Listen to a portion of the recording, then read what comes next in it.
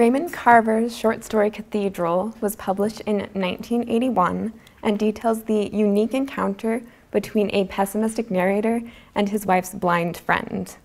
Now, much of the critical debate surrounding this piece concerns whether or not this encounter is ultimately redemptive for the narrator or whether it merely perpetuates a negative worldview.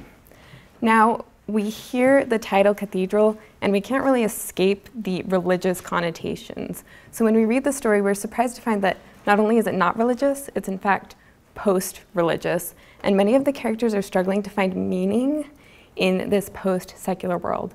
So it's not a story about religion, it's not even a story about the loss of religion.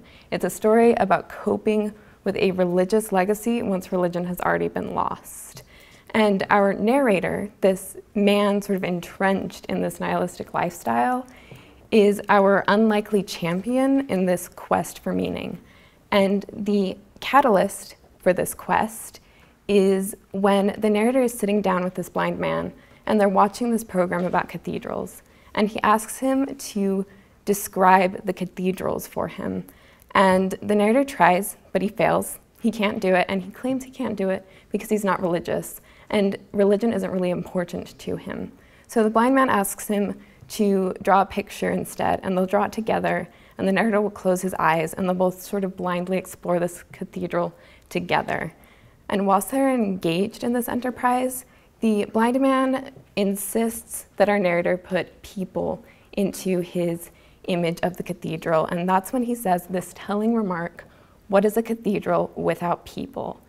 And this is where I argue that the text becomes unhinged. It's no longer about the narrator, instead it's about these broader social and philosophic issues.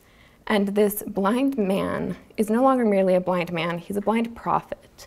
And he is bringing these ideas of belief into conflict with the nihilistic nature of the world. And at the end of the story, our narrator is torn between his nihilistic lifestyle and this desire to believe in something.